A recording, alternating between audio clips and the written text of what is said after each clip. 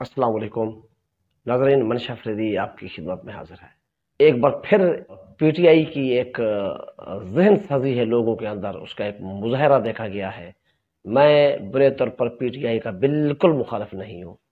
मैं उस जहन साजी का मुखालिफ हूँ कि जो लोगों की तजलील करती है, ये एक ऐसा माइंड सेट है कि जिसके ज़रिए बात करने वाले को, बोलने की ताकत रखने वाले को उसके खिलाफ ये जहन साजी इंतहा कदम उठाती है।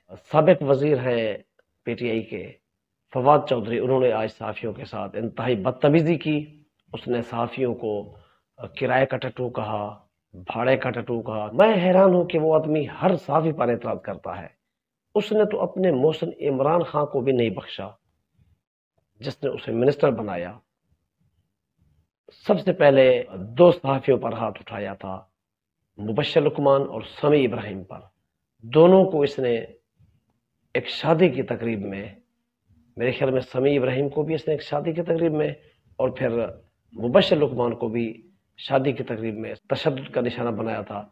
उनकी अज हद इंसल्ट की थी। ऐसे सहाफ़ी जो इसके आका, इसके मालिक इसके सरपरस्त की फेवर करते थे। इसके सरपरस्त की मुकम्मल तौर पर फेवर करते थे। उसकी वजी अजम बनने तक उन लोगों की जिद्दोजहद है। उनके खिलाफ इसने हाथ उठाया, उन पर हाथ उठाया। उनको इतमाद में थप्पड़ रसीद कर दिया उन पर तशद किया। क्योंकि फवाद चौधरी स्टेट का नाम है और आज उसने फिर मतीउल्ला जान, जो कि मेरी नज़र में, दोस्तों, मेरी नज़र में एक ऐसे साफ़ी हैं कि जो दरो गोई से काम नहीं लेते। जिनका तजिया हमेशा दो टोक होता है जिन्होंने बल्कि मैं ये समझता हूँ कि हर आदमी उसके तजिए से मुतमिन होगा। उस पर इसने हाथ उठाया। उसे किराए का आदमी कहा उसे कमांडो कहा उसे आ, फौजी की औलाद कहा और फिर मतीउल्ला जान पर इसने उसे कहा कि तुम साफ़ ही नहीं तुम एक यूट्यूबर हो। मैं फवाद चौधरी जैसे बेवकूफ़ पागल साइको और एक मतकबर बल्कि बदतमीज़ शख्स को यही कुछ कहूँगा कि फवाद साहब, तुम्हें क्या पता कि सहाफ़ी क्या होता है? सहाफ़ी बेसिकली वो होता है कि जो बात कर सकता है। हाँ ठीक है, डिक्शन के रूप से अगर देखा जाए तो किसी सहीफे से मुंसलिक शख्स को सहाफ़ी कहा जाता है। आप कौन हैं? क्या आप सियासतदान हैं? सियासत हमेशा एक नेकी का काम है, एक अवामी सर्विस का काम है, अवाम की खिदमत का काम है। आपने कौन सा काम किया? आपने तो उसे यह कहा, जब उन साफियों ने आपसे कहा कि आप क्या सियासतदान है? तो आपने कहा कि हाँ मैं सियासतदान हूँ, मैं वोट लेकर आया हूँ।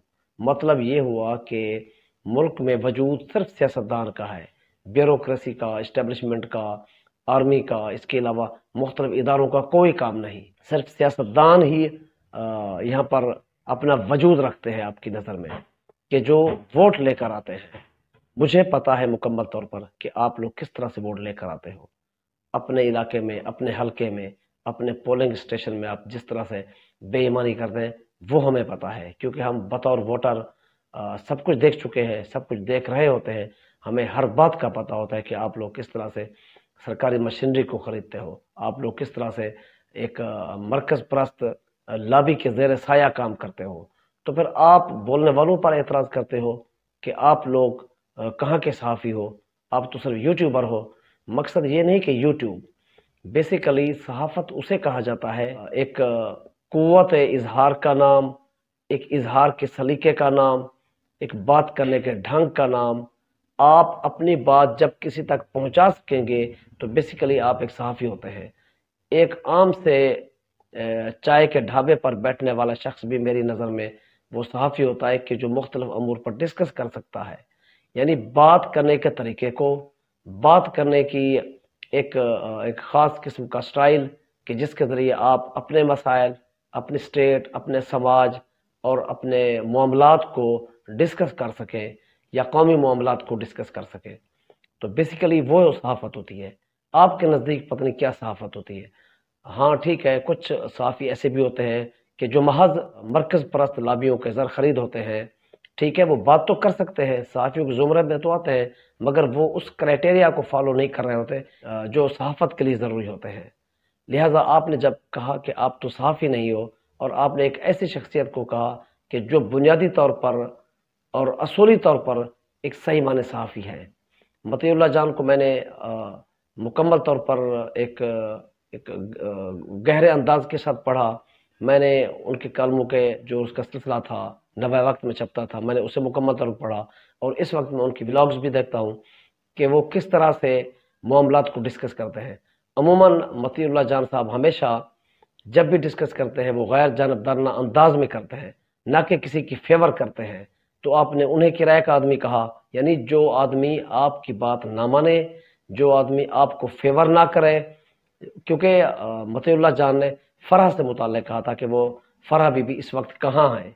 कहाँ चली गई हैं? उस पर ये जो करप्शन के जो एलिगेशन लग रहे हैं, आपने उस पर आप इमोशनल हुए, आप जज्बाती हुए और ज़ाती तौर पर उस, आपने मतील्ला जान को उस पर हमला शुरू कर दिया। तो यकीनन उसके जवाब में, उसके रिएक्शन में लाजमी कुछ होना था और फिर आपकी प्रेस कॉन्फ्रेंस का बाइकआउट किया गया। ये नहीं कि आप सुरखरू हुए, आप यकीन सुरखरू नहीं हुए। आप तो हमेशा हर महफिल में शर्मिंदा होते हैं फवाद चौधरी साहब। ये एक मेरी राय है, कुछ लोगों की राय मुझसे जुदा भी हो सकती है, लेकिन गैर जानबदाराना अगर देखा जाए तो मेरी राय हक बजाने पाए क्योंकि आपने बात करने वालों को उनका हक नहीं दिया, उनके इस हक को गसब करने की कोशिश की। नाजरीन, इसके साथ ही खुदा हाफिज़। प्लीज़ अब मेरा यूट्यूब चैनल मनशा फरीदी ऑफिशियल सब्सक्राइब कर दे, साथ ही बेल आइकन को भी प्रेस करें शुक्रिया।